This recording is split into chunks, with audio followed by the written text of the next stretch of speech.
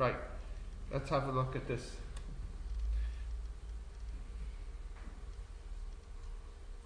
So when a continuous when a continuous spectrum of light from a hot source is passed through cool, low pressure hydrogen gas, the spectrum observed on the other side shows dark absorption lines.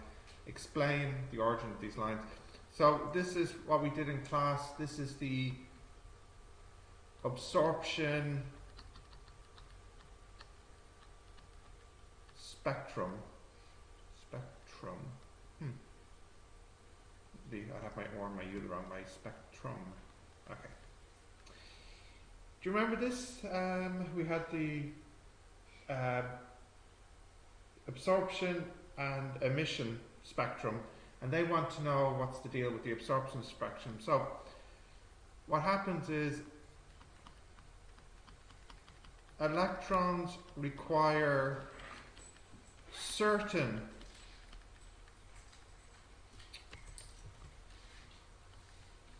certain energy levels to be provided so that it can be freed. The light provides the energy and since energy is proportional to frequency then certain frequencies are absorbed. Whew, something like that should do it. So I'll read it again to you. Electrons require certain energy levels to be provided so that it can be freed. The light provides the energy, and since energy is proportional to frequency, then certain frequencies are absorbed.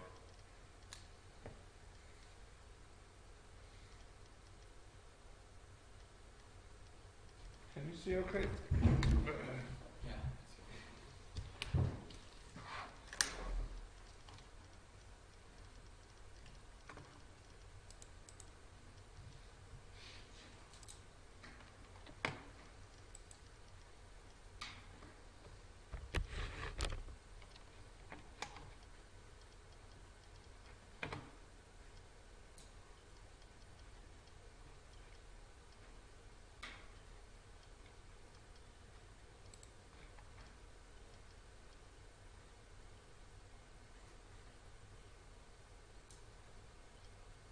Got that? Yeah. Cool. Let's look at the next one here. Oop. Some of the energy levels of hydrogen are shown below. Determine the frequency of photon required to excite an electron from ground state to n equals 2. Right, so in the ground state, the energy is minus 13.59 electron volts. And in state n equals 2, the energy is minus 3.4 electron volts. So the difference between the two is how much energy is required. So if you did 13.59 minus 3.4 and then multiply that by E, that'd give you the energy. But we know that energy equals HF. So if you do that and divide your answer by h, you get the frequency. So once, you're ready on your calculator, you can give me that, no problem.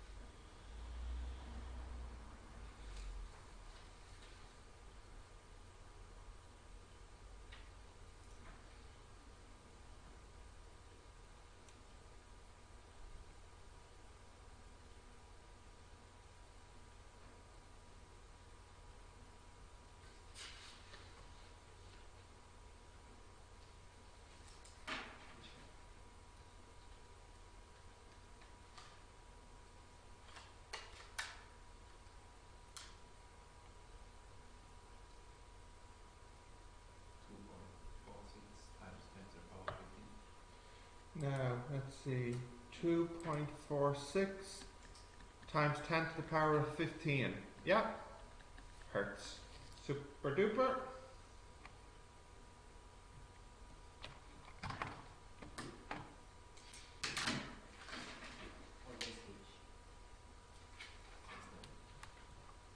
Is Planck's constant. Okay, B part 2. When hydrogen atoms are excited to state 3, give the energy level in electron volts of all possible photons which can be emitted. Hmm, okay. So this one's a little bit weird, but it's not, it's weird because you need to figure out what they want. So what they're saying is, you have energy level 3 and this releases a photon if it suddenly drops down to energy state 2 let me think if I got that the right way around. Yeah so what happens is when it drops from 3 to 2 it loses energy but energy can't be destroyed. So what happens is a photon is released and likewise, when it drops down from 3 to 1, a photon is released. So the question really is asking you what are, what are the two energies of these two photons? So it's just going to be the difference between 3 and 2 and the difference between 3 and 1. So the difference between 3 and 2 is that minus minus that. That's energy 1 and energy 2 is that minus minus that. So minus minus makes plus. Ah, so what's what's that if you could be so kind? Now you can leave it as energy volt, uh, electron volts.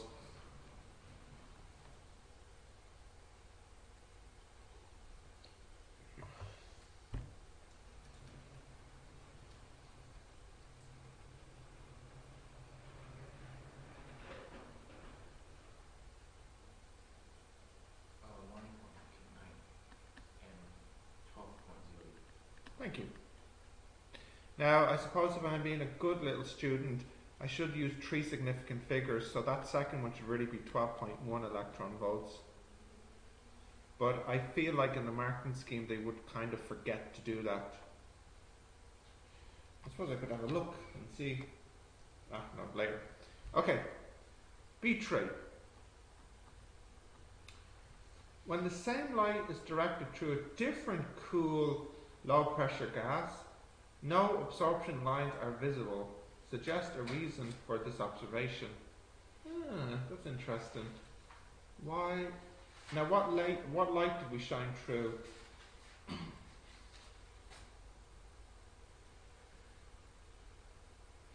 So it's not it's not super clear in the question, but at the very start it says when a continuous spectrum of light. Now, if I, I don't know if they mean just a certain like a certain range of frequencies, you know, like um, say green light or red light or something like this. So it's possible that the reason there's no absorption lines is because the no frequency in this light directed through the gas matches what the electrons require. So um, that's what I'm going with, and then I'm going to check the answers. Um, no frequency of directed light matches required uh, frequency. Now, let's just see what the marking scheme says. I, I'm kind of worried I'll be disappointed.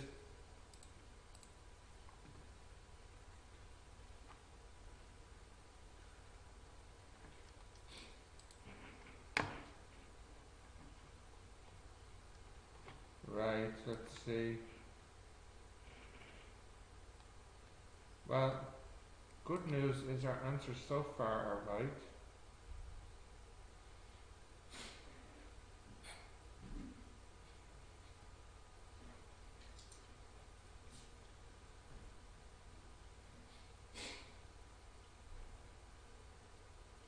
Ah, we forgot one here.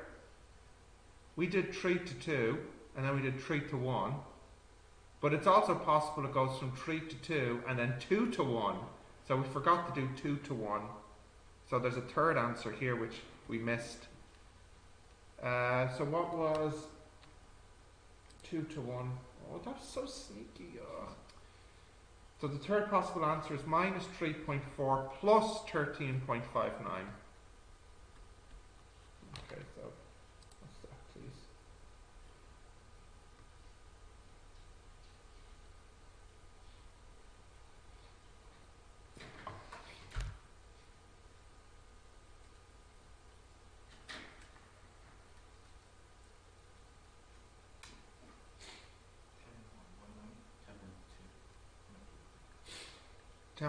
One nine, 10.11? ten point two. 10.2. Now, what's, what, what's annoying about this part 3 question is it's two marks, and my answer is actually right. I get one mark, but the question says suggest a reason, and it looks like you need to give actually two reasons, which is a bit of a pain. So I would have only I would have only gotten one mark here. I need to give another reason. So it says you can give credit for any other reasonable answer.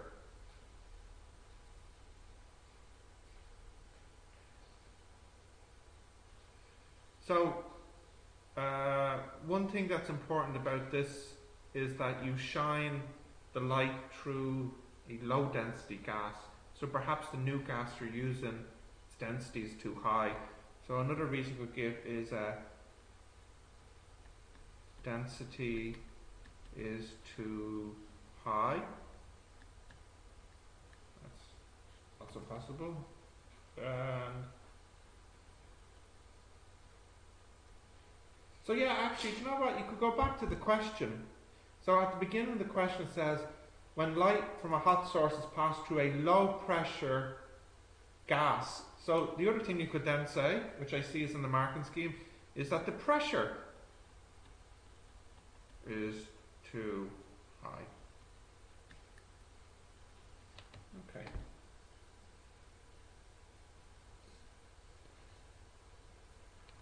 Um, in the question it says,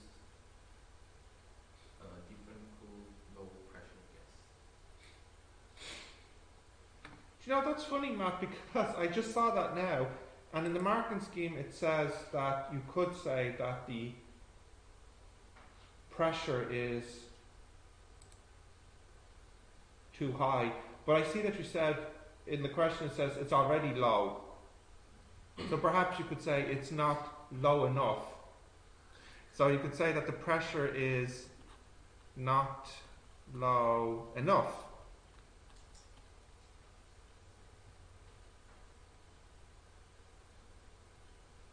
But then you you see that it says it's cool. So I guess you could say it's not cool enough. I don't know. It's just it's what's in the marketing scheme. I'm a bit annoyed that it's uh, you need to give two reasons, two two suggestions. Okay, let's see the next one. In the emission line spectrum from the hotter samples of a gas, emission lines correspond to transition from higher levels down to lower levels and stronger. Then those from low levels down to the ground state. Suggest an explanation for this. Okay. That's really making you think. Goodness. In the emission line spectrum from hotter samples of a gas, emission lines corresponding to transition from high levels down to lower levels are stronger than those from low levels ground state. Ah, okay. So once you understand the question, he's asking you uh, why is it that if you go from a high state, like say n equals 5, down to a low state, like n equals 2, why is that stronger? That means brighter, that means more energy. Then if you go down from a state from n equals 2, a low state, like n equals 2, to the ground state, which is n equals 1. And the reason for that is because the energy difference between a low state and the ground state is less than the energy difference from a, a I guess you could say, a high state to a low state. And the reason for that is because the energy levels of the electrons spread out. So, like, there's your first orbit, there's your second orbit, there's your third orbit. The difference in the energy here is less than the difference in the energy here, and that's less than the difference here. That your energy levels they get wider further apart. Okay, so that's why it's more. say again. As, as they're further apart, it's more. And, and As they're further apart, there are bigger differences between the energy levels. So you could say the difference in energy levels per orbit increase. Hence, uh, as an example, the difference between energy state 5 and say energy state 2 that would be bigger than say the difference between 2 and the ground state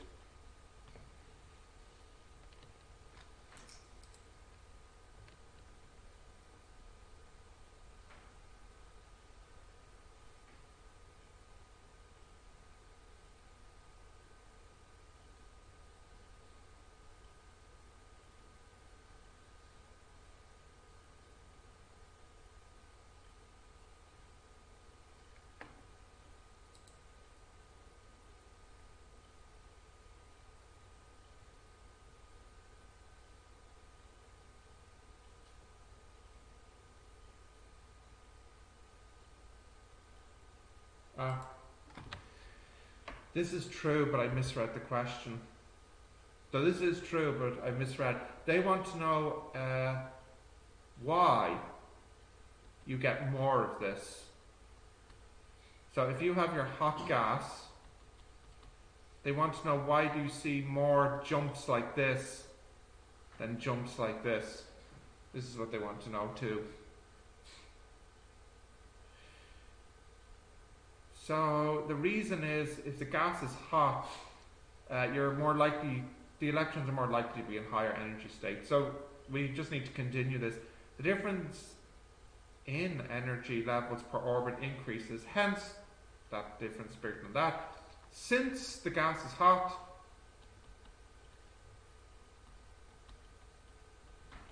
the higher states are more common.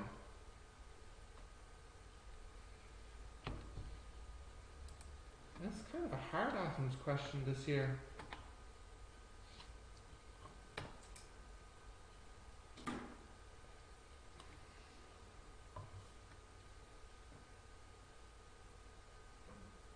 Yeah. the difference in energy levels per orbit increase. Yeah. But like in the B questions, like from n equals two to n equals one has a big, very big difference. Uh, Matt, I said it backwards. Oh, it's too early. Thank you.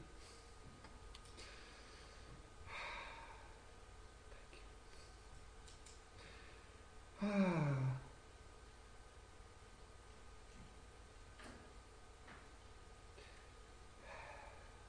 you. Decrease. So then it means I have it backwards. So actually, you know what? Uh, so that actually is useless. That doesn't explain anything then. So, uh, it's just that then.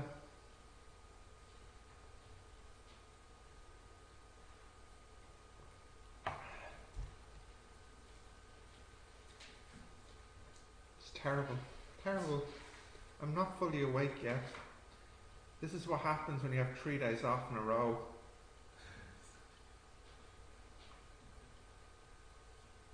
Okay.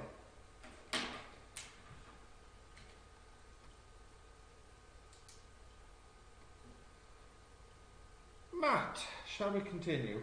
You got that okay? Thank you for pointing that out. Matt's somehow quite awake this morning. No Game of Thrones last night? Okay. When you sleep. Ten! Oh, well, that explains it. I went to bed at a terrible time of 2.30 We got, we got the new book, so I get used to because of the what? the new job. Ah! I have to wake at 4. Ah! I'm supposed to sleep at two thirty. But Why do you have to wake at 4? Because the job starts at 5. Yeah, but what is it that they have you doing? Prepare food. Ah! 5 until what time? Location to their place. 5 to 12? 5 to 12. 5 a.m. to 12 noon. oh. Oh, 5 a.m. That sounds painful. So yeah, so 9:30 must feel very late for you then. You get to sleep until 7, you relax. Okay. Good man, good man. Right, what is meant by the wave particle duality of electrons? So, uh, this means that electrons can at times act like waves and at other times act like particles. Now let's see if I got my one mark. Yep, I actually wrote more than I need. Electrons can behave both as wave and particles. Okay, next.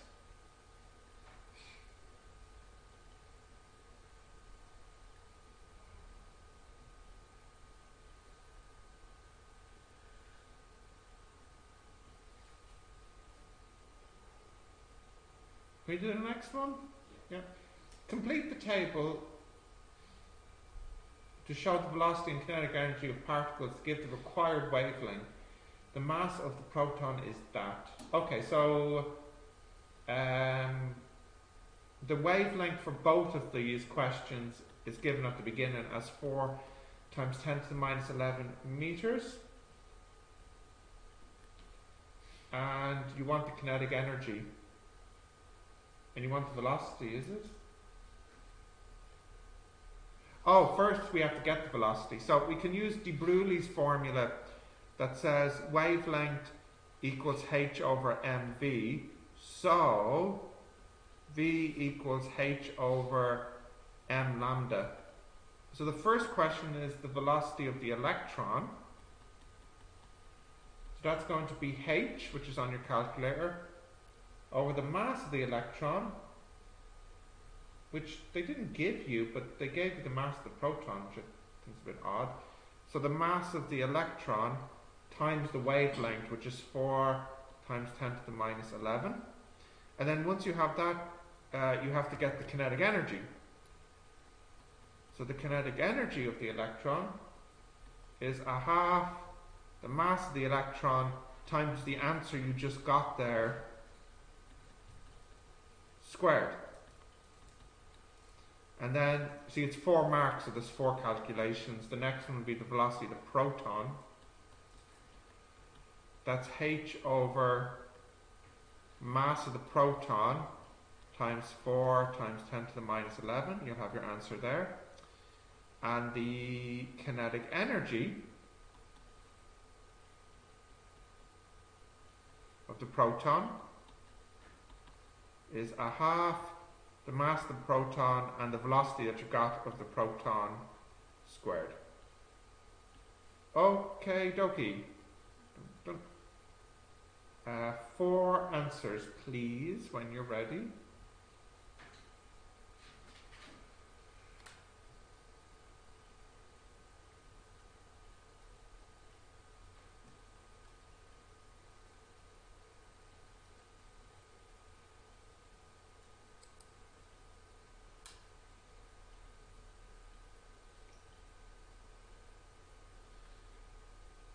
The, for the first one, uh, Is it 1.82 times 10 to the 7?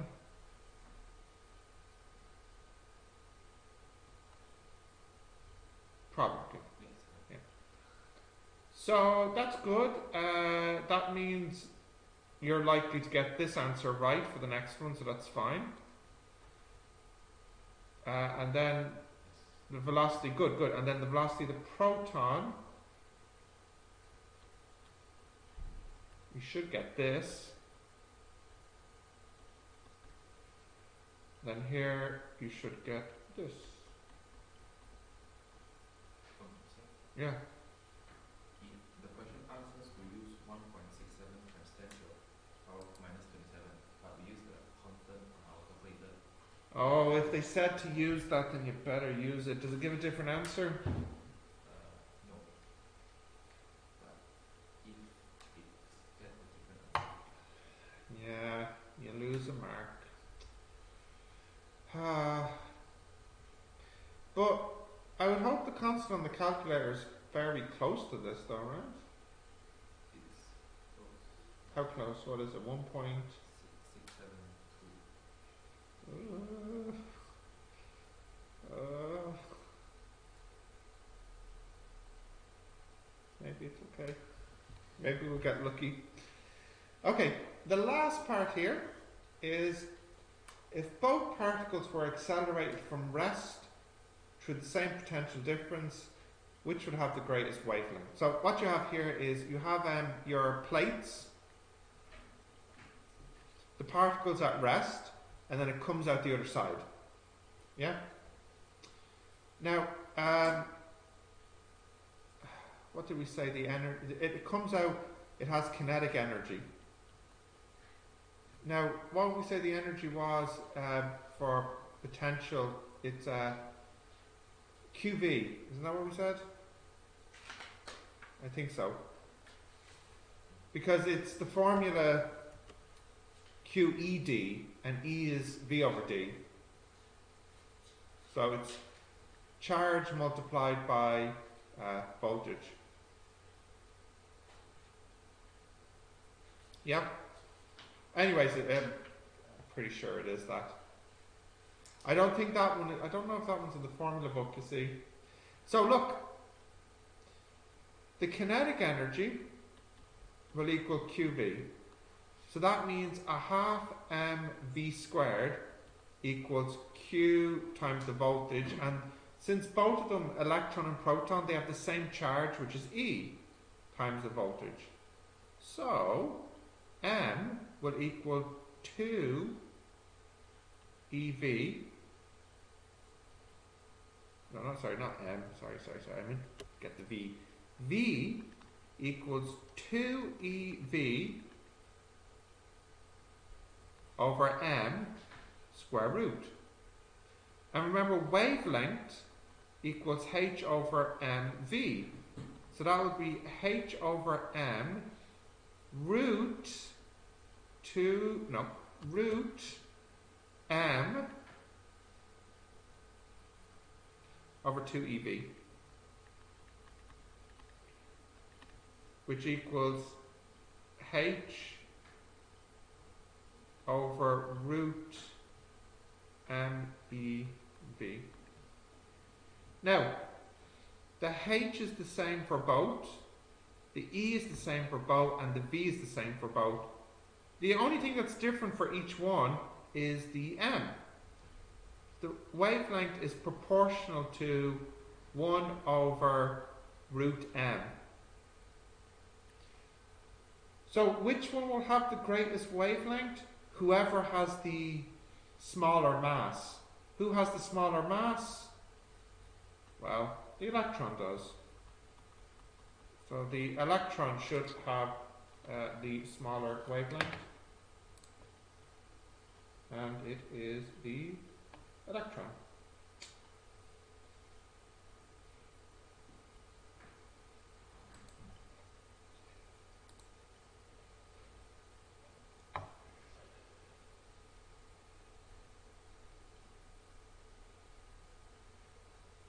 Okay. Is that okay? Uh, you didn't need to do all the work that I did. it's it's something that you can remember as a fact nearly that the smaller the particle, the bigger its wavelength and wave-like behavior will be. So, electrons will behave more like a wave than a proton because electrons are smaller than protons. So it means also that they have bigger wavelength. Uh, okay. Anything else in that paper? No, that's the end. Okay. So we'll jump back to version one. Where are we to continue from?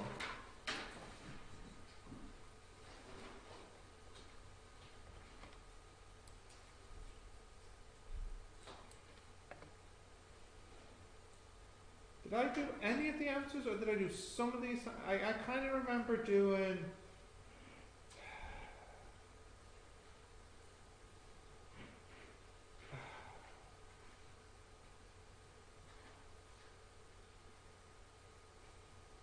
I kind of remember doing section A. Could you check your notes to see?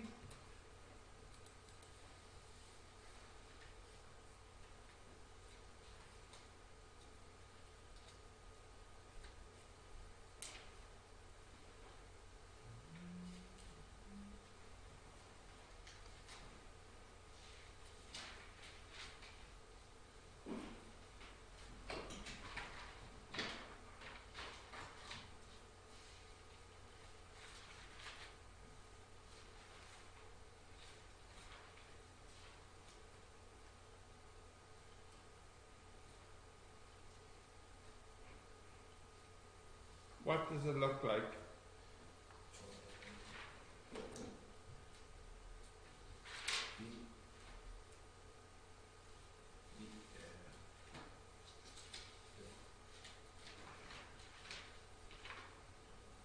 Are we continuing from B1?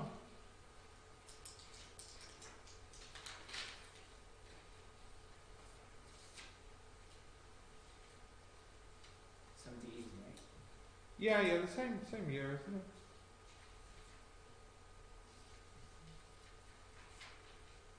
Yeah, we did, we did till um B five. So Did we? this is you know, it's seventy eighty.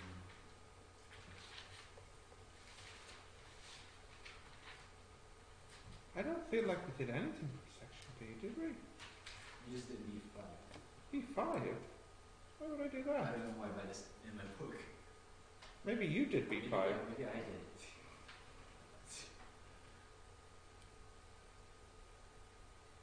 B two? But maybe you just did B2.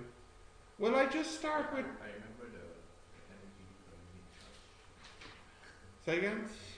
I think it's B two.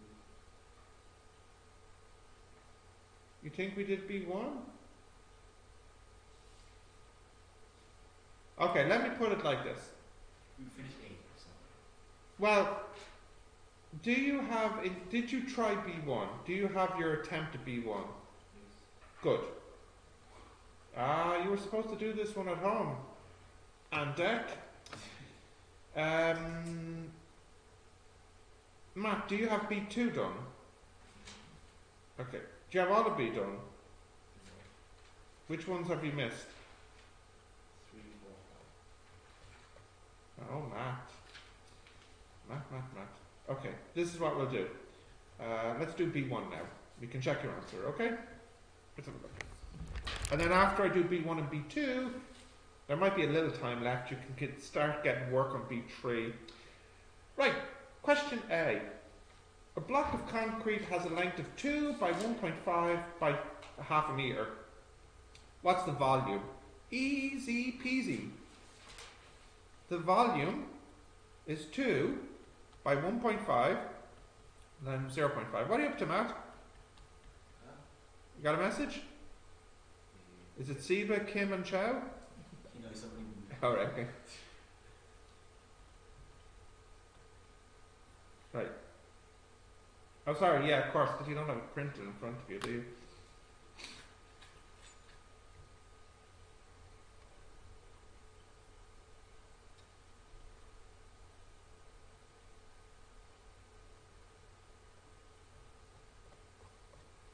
me know when you're ready.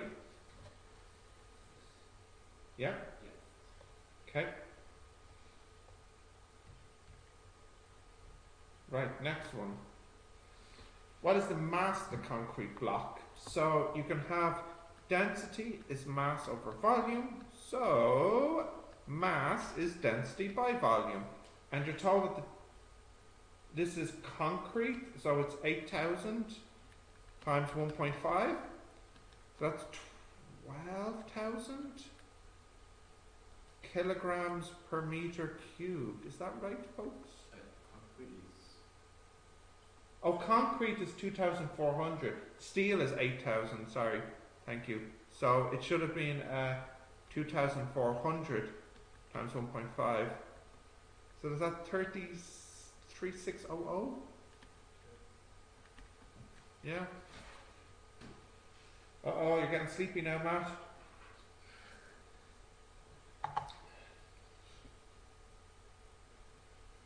Okay. Part 3. If a bar of steel with a circular cross section and diameter 2.5 has mass 6, what's the length of the bar? Okay, so you got a piece of steel. Um, it's 6 kilograms. And the diameter is 2.5 centimeters. What's the length? So look, you know that mass equals density by volume. And you also know that volume is pi r squared L or H. That means that the L that you're looking for will be the mass over pi, uh, rho pi r squared. So that is 6 over 8,000 pi 0.0125 squared. I hope. Yeah. Am I right or wrong? Let's see.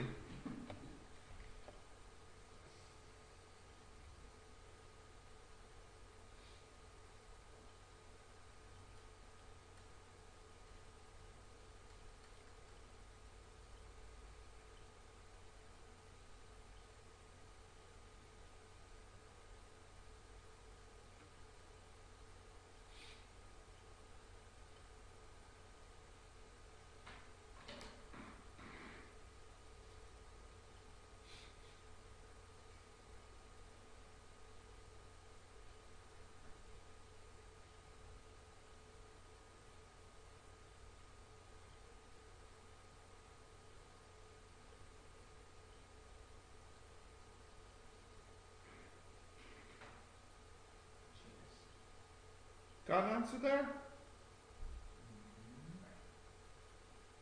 Yeah, one point five three. that seems like a reasonable length, doesn't it? 1.53?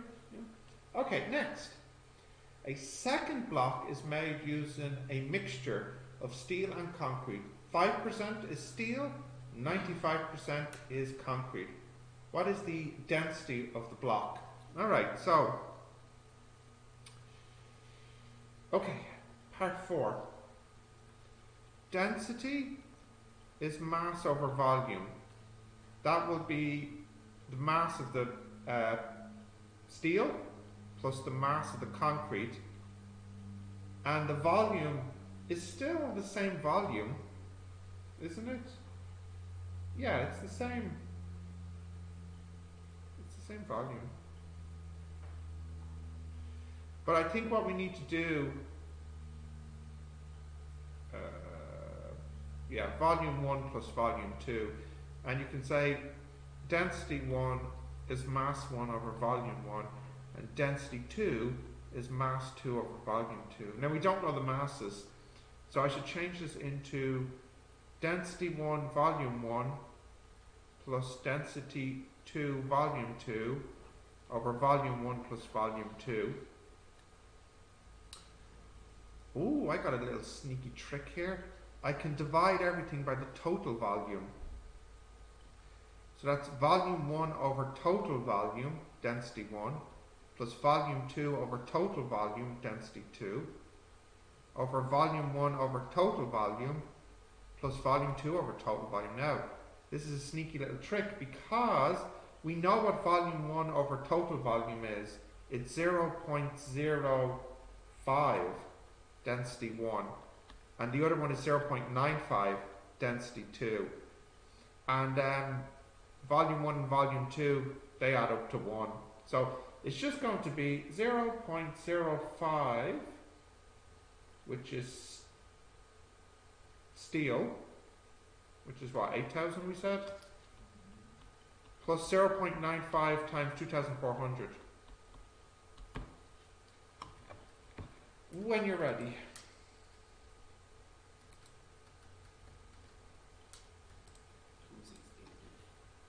Two six.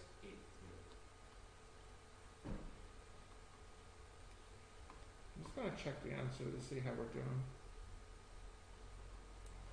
Yep, yep, yep, yep. So far, so good. Okay, continue. Yep. Now for part B, they give you a graph. Um,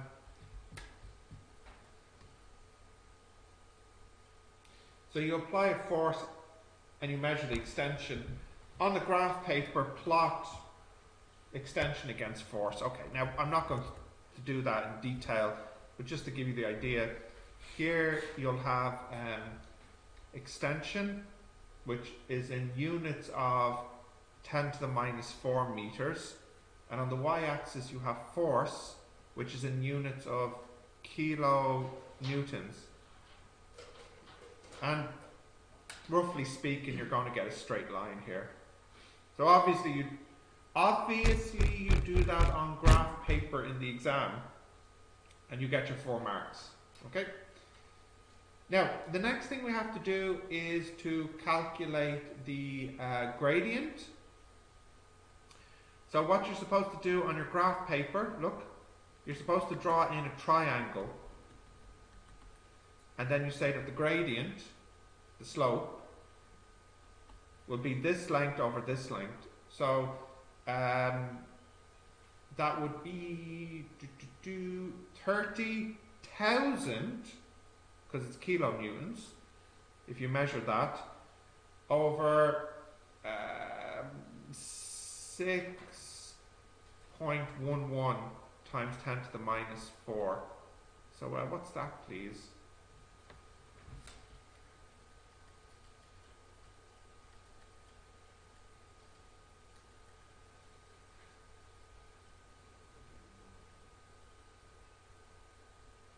Four point nine times. Oh, ten to the power seven. 7. Now, they want you to use that. Okay, so what are the units actually? Um, they are newtons per meter. That actually represents the K because you know the formula, Hooke's law, F equals K times extension. So that means the K is this guy. So that's K.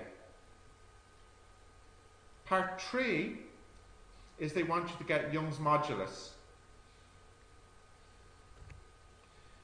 So remember, uh, Young's modulus is stress, which is force over area over strain, which is extension over natural length. I should have used L, sorry, L and L. But Hooke said force is K times extension over area over extension over natural length. They cancel, and I get K L over area. Yeah? What do you need to check, Matt? I can help you. F equals to K times extension. Yeah, that's Hooke's law. Is that in the book? I hope so. Ah, yes. It is? Okay. Continue. Um, so, do we know K? We do. Do we know L? I think it's given in the question. We do, it's 2. And do we know the area? Uh, we do. It's pi 0.0125 squared. So when you're ready, you can you can tell me what that is, please.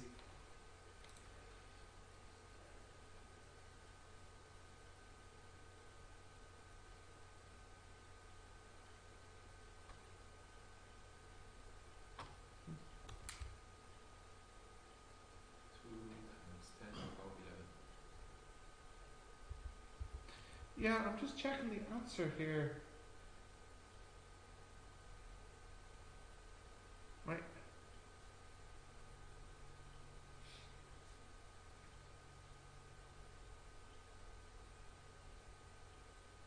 Thirty thousand. My. Uh, oh, sorry. No, I'm looking at the wrong answer. Yeah, no, this is this is right. Sorry. And what did you say this one was? And that's right. Okay. Uh, use the gradient. Oh no, I just did that. If the bar fractures at 204 megapascals, what is the tensile strength of the steel bar? Okay.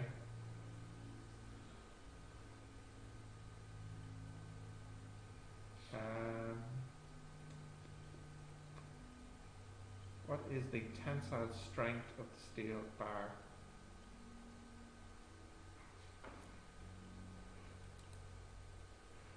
Cool. Okay. So basically, do you remember tensile strength is the limit of when something breaks? So it's a force. How much force you need to break something. Now, what did they give you? They didn't give you the force, they gave you the, the stress. So basically, the question is this if the stress is 204 megapascals, what's the force? So do you remember uh, stress is force over area? So force is area times stress. And the area is pi or squared times 204 times 10 to the 6. And we're finished once we have that.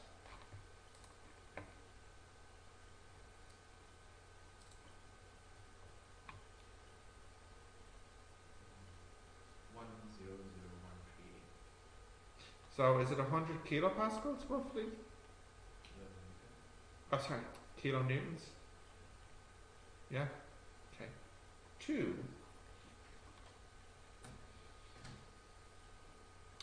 So, um, what is meant by the EMF? Ah, it's the long definition.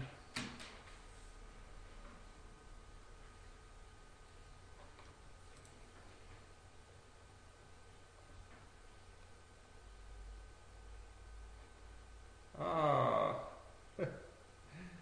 ah, it's funny because when different people write the exams,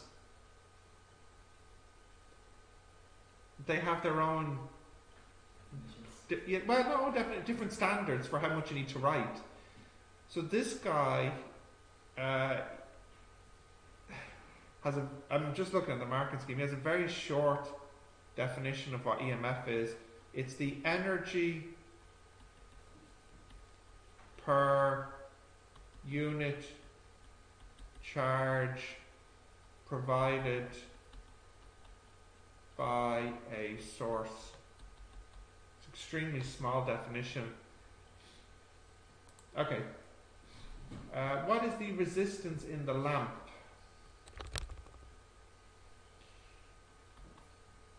Right. So what do we know? We know the EMF. Uh, when switch A is open, there's that current and that voltage. So we know the current, we know the voltage, uh, the switch is open. Yeah, so this we could just use. Oh, we know the EMF. Good. So we could use we could use Kirchhoff or something because oh, could we?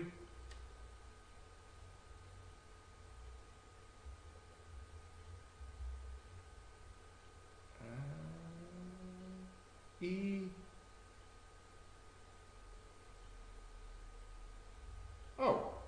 actually we we know. I need to draw this. Okay, here we go. Dun, dun, dun, dun, dun. We have a resistor here. So here, uh, well, we have a little resistor here as well. So we don't know this guy. We know that this is 15 volts. And, ah, yeah, look, we know this guy here is 14.5 volts.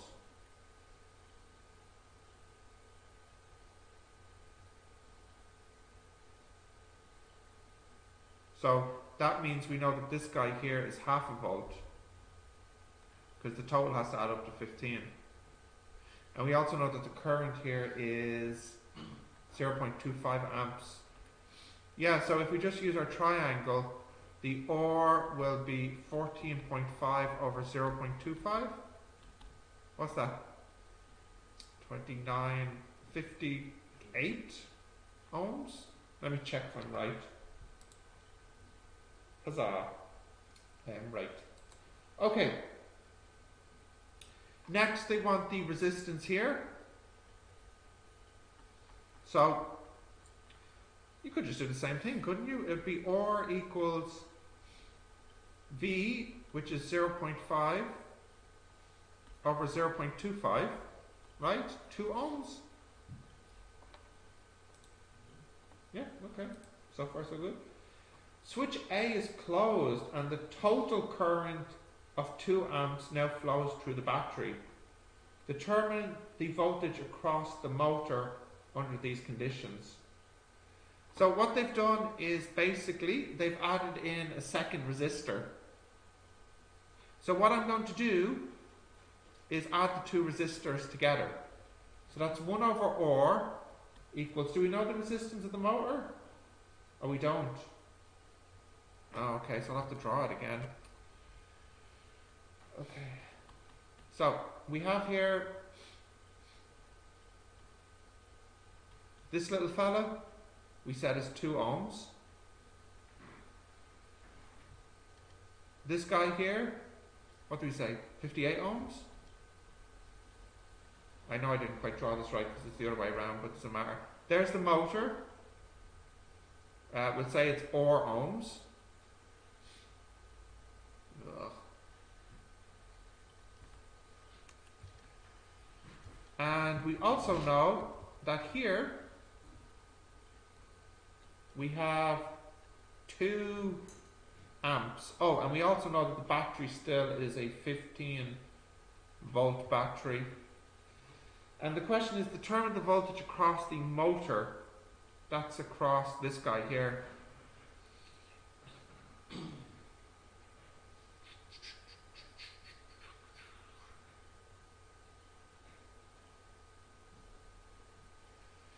So what I'm thinking is, what formula would be best here? Do I want to use Kirchhoff? We'll use Kirchhoff. I like Kirchhoff. We'll call that I1 and that I2. So we know that I1 plus I2 has to equal 2. And what I'll do is I'll take an outside loop. So I get 15 minus 2 times 2, which is 4, minus by 2 or, that should equal 0. Oh, I need three equations, fine. Um, the top one now. 15 minus 4 minus 58i1, that should equal 0. Okay, so 15 minus 4 is 11. So 11 over 58 equals I1. So then that means I2 equals 2 minus 11 over 58. So then that means OR will be 11 over I2. Oh, there we go. Okay, so what's that, please?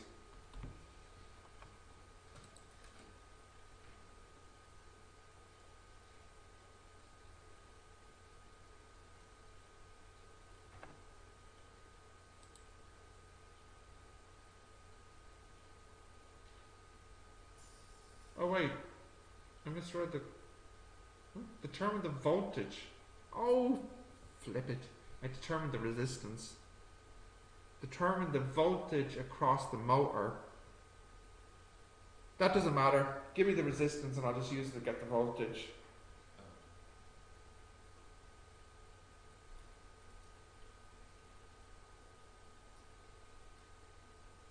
Six point seven six. Six point zero seven. 6.07 ohms. Okay, so then that means V2 is I2 times OR. Okay, so what's that?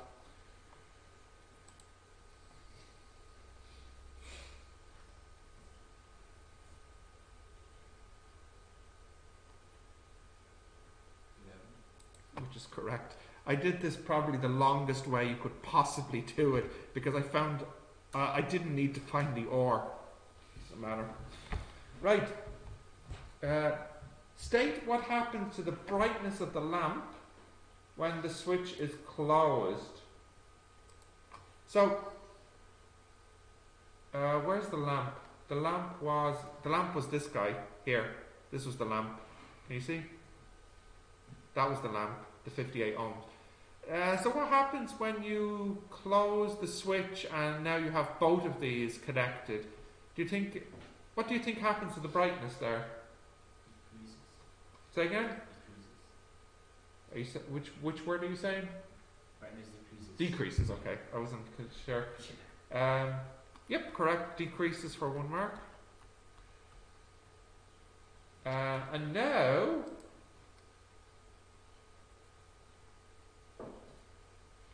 Well, okay, so the, the next part is why. So why does it uh, why does it decrease?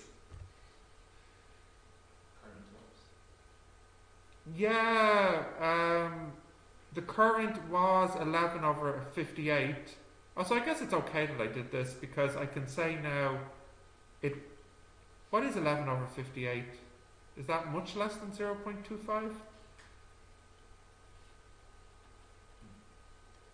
What is it actually? Zero point one nine. So I could say current drops from 0.25 to 0.19 amps. Okay. Oh, so hence P which equals I squared or reduces. The output power reduces. Okay, next. Semiconductor diodes are used. Sketch a circuit that would allow the current voltage characteristic of a diode to be investigated with the diode drawn in forward bias. So uh, this is what you did in your experiment. It's just the circuit for the characteristic curve. So you remember the story here. You have a, a, a, power supply. You have your, your switch.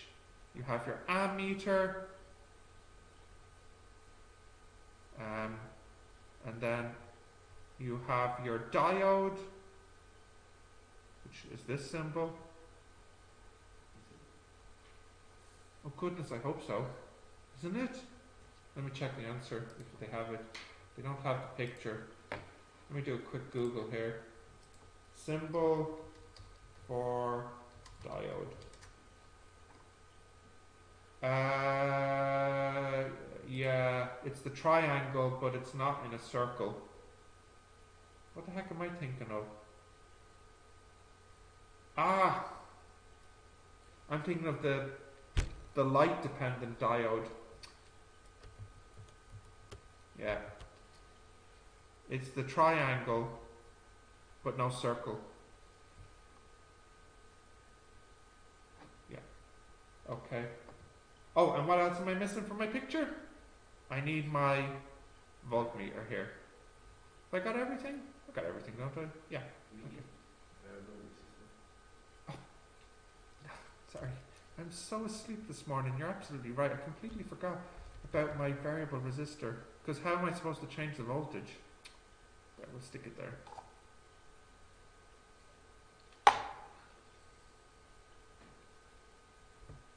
Okay? Yeah? Uh, sketch a graph to show the characteristic you expect to see for the, so sketch what graph you expect to see. Okay, so can you see that okay? Here you have your voltage and here you have your current. And if you remember the graph, um, it's kind of flat for a little bit and then it, it shoots up. And I think we said that this is around about at 0.9 volts. I think it's the number we said. 0.7? Not s- 0.9 is a bit too big. Oh, thank you. Okay, 0. Point, so we'll go with 7 then. Uh, and then it goes further back much longer, and then it falls down here. Uh, and what's this called? This is called uh, runaway, isn't it? Runaway breakdown.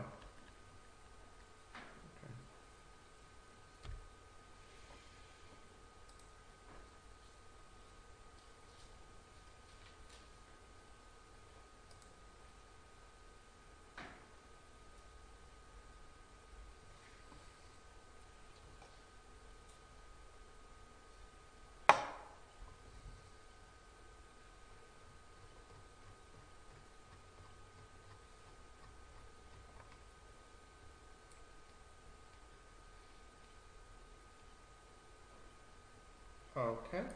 Can I do the last part? So the last part um, is a diode in parallel can protect an ammeter. Explain how. Okay.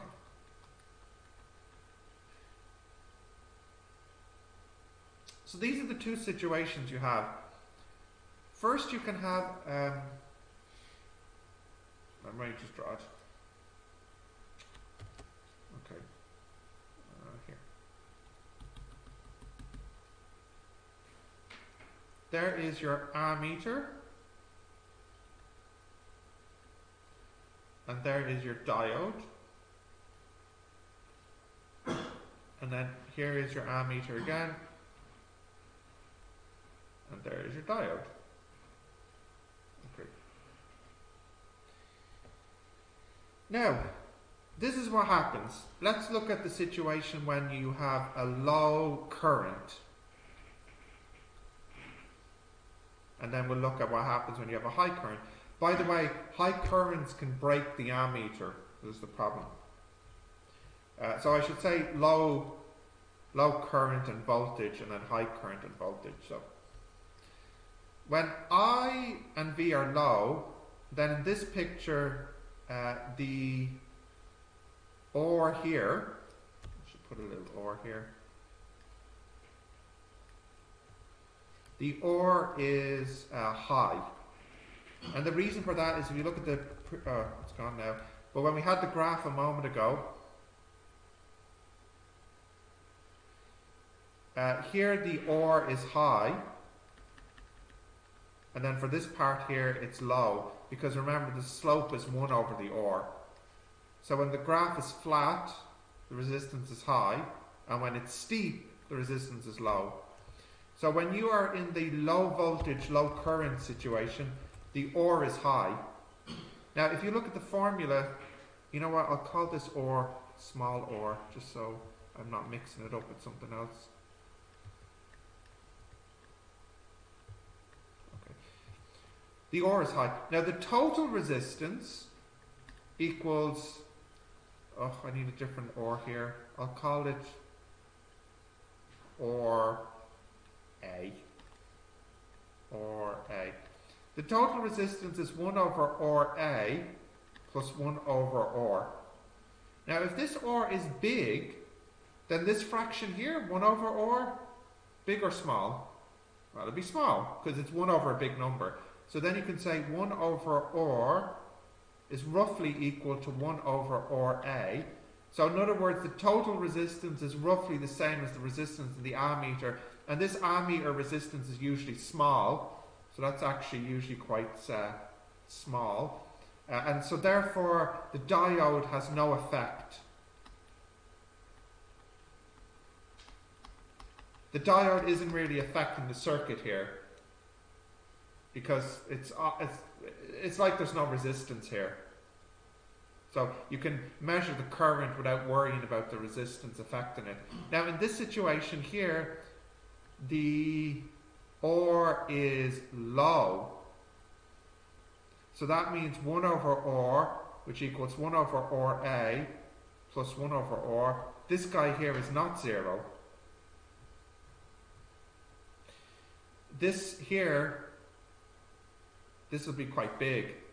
So it means 1 over R is roughly equal to 1 over the resistance in the diode. Uh, in other words, the diode, we say, dominates and takes all the current because it is all of the resistance.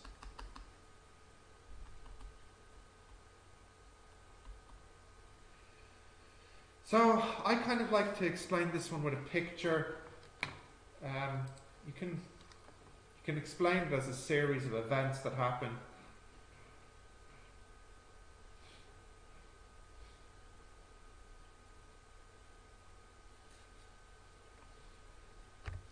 So if you want to give the answer as a paragraph, if large current is flowing through the ammeter, voltage across it increases, then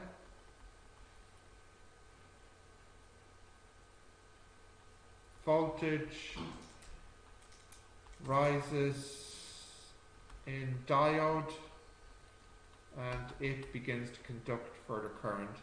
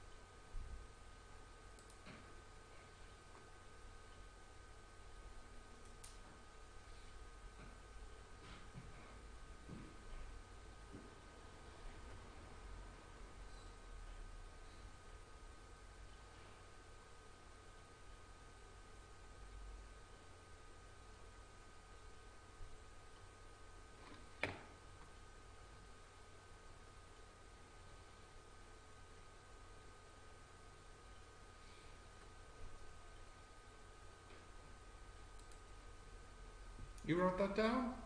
Or, or something? Yeah. Okay, so that's question one and two.